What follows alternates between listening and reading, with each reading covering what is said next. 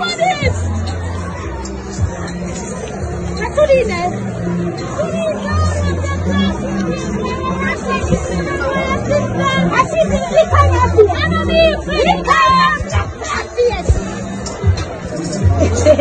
God!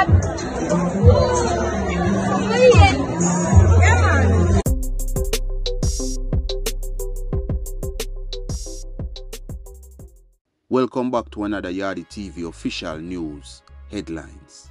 So, people, a man was trapped to death and at least two others were injured early this morning along Redhills Road in St. Andrew. The deceased has been identified as Philip Bennett, a construction worker. According to his brother Stephen Smith, Bennett left his home around 7 o'clock to go to a shop to meet his spouse who was going to work. Smith further said that while at the shop, his brother was attacked by a man said to be of unsound mind with a machete. Smith sustained multiple injuries and subsequently succumbed. The head of the St. Andrew Police Division, Superintendent Shakira Service, said that the man was chasing a group of people along the roadway and managed to inflict wounds on three of them. Bennett died as a result of his injuries sustained. The attacker was later accosted by the police. A two year old girl and a man are dead following an attack by gunmen at Central Avenue in Sydenham Villa, Spanish Town, St. Catherine this morning. They have been identified as Javan Parcel and two year old Aliyah Gilzini. After storming their house, the gunmen shot Mr. Parcel several times and then set the building on fire. The child's mother said the attackers identified themselves as police before entering the dwelling. She says her daughter fell from her hands behind the refrigerator as she fled the house. Yes, mommy, tell me take place this morning. Then come and knock on the door and say a police. And me tell him don't open the door because I don't sound like police. No, no, God. Then they fling some tree window and look the glass and come in there. And he go in the next room right there, so I lock the door and me take up the baby and run grown there. And me hide back, I, me hide back, I, hide back, I want mattress and lean up right there, so. And then come in and one of them shot him in the belly. And then did I fight them back. And the rest of them come down on him and shot him. And when he, when he gun shot down out, I clip them, then still I click it. And then they come out of the room and come in the room here. And then me start smell smoke. Smoke. Me did the run in the room here. Me run in the room here. And me baby, me a try, me a try come out in me baby and she drop out of me hand back of the fridge.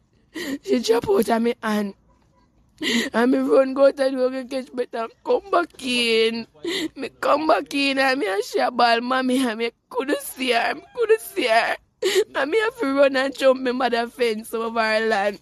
And me run got that woman in yard, her door wide open, she not in there. And me take three come and go over her friend. Me try.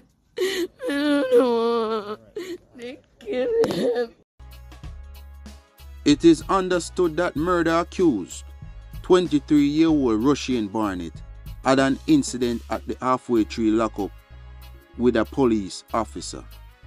Allegations are that Barnett was inside his cell when a female officer on duty saw a bulge in his waistband. It is alleged he was taken from the cell while being searched. A cell phone was found in his possession. According to allegations, Barnett became frantic and grabbed the female officer by her clothes. Other police allegedly intervened and freed the officer from his grasp. The allegations are that Barnett then picked up a bucket of water from his cell and threw it at the female officer. The situation was contained and Barnett was taken back to his cell. Barnett pleaded guilty in the Home Circuit Court in July to the killing of Kemisha Wright and her four children in Cocoa Piece, Clarendon in June. The news team was informed that no additional charges were laid against him. He is slated to appear in the Home Circuit Court again on September 22nd for sentencing. So, people, leave your thoughts in the comment section. And if you want to see the images of the incident where we spoke about pertaining to the two year old and the man that lost their life in the attack over there in Spanish Town, feel free to join the Telegram group or follow me on Twitter those two platforms is where I will be posting those videos. So don't forget, like this video, subscribe to the channel if this is your first time viewing, and recommend this channel to a friend. It will be greatly appreciated. Until next time, peace.